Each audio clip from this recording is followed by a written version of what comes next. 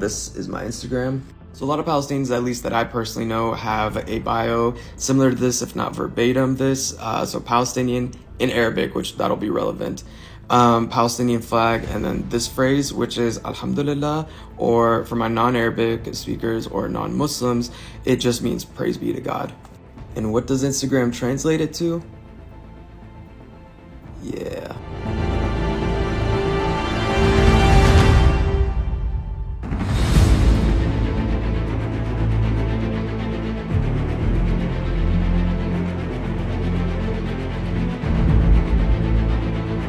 For transparency's sake, I wanted to make a quick update video on the video on which I commented this.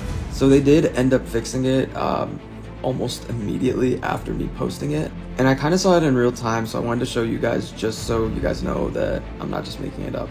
Here you start with the original translation, Palestinian T words, then just Palestinian.